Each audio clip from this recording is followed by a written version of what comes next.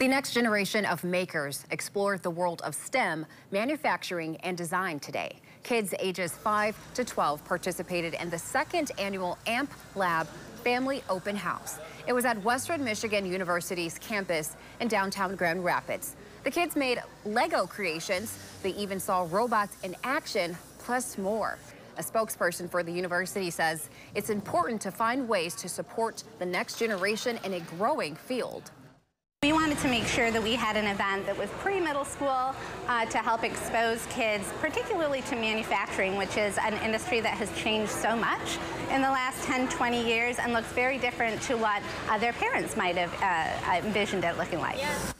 The college partnered with other community organizations to offer the event to the kids. They hope to do it again next year.